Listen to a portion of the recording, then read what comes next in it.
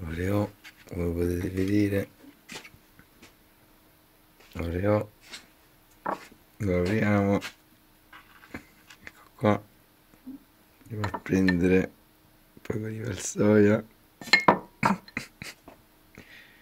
giusto un po' ecco il mio assistente Nicolo si è appena risvegliato da un piccolo pisolino mentre io lavoravo. Ecco riprendi là. Così ecco mettiamo un po' di questa splendida crema di Nutella vegana. Vegana. E mettiamo qua. Però per chiudere in bellezza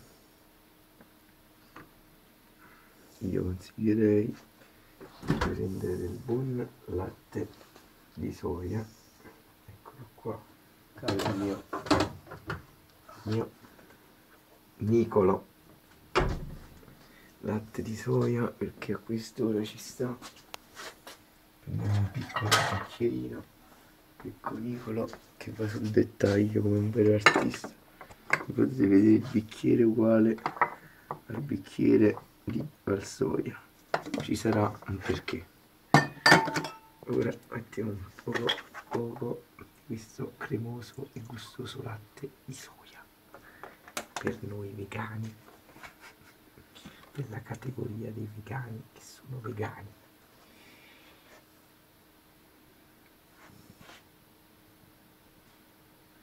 Essere o non essere vegani?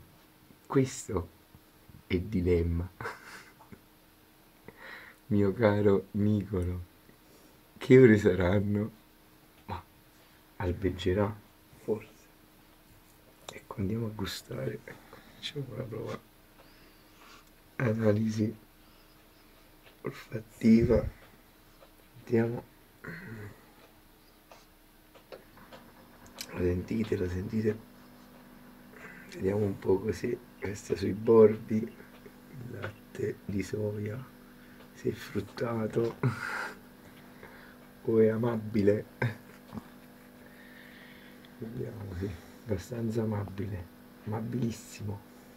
Vediamo ragazzi proviamo. Mm.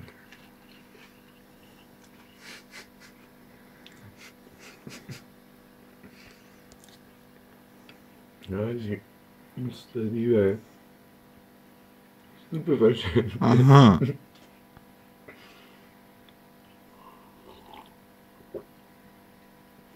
si sente raggiunge quella punta di cacao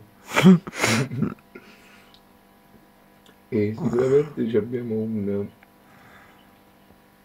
un sottobosco chimico e adesso invece andiamo a analizzare la densità questo latte di soia e il suo sedimento di cioccolato e oreo prima di augurarvi una buona giornata.